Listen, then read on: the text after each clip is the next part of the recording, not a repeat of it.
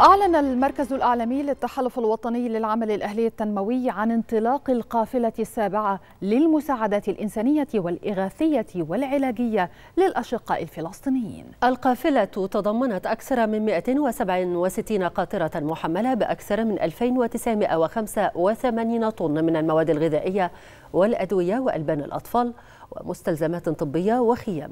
يأتي ذلك تنفيذا لتوجيهات السيد الرئيس عبد الفتاح السيسي بتقديم الدعم الفوري والإغاثة الإنسانية لدولة فلسطين الشقيقة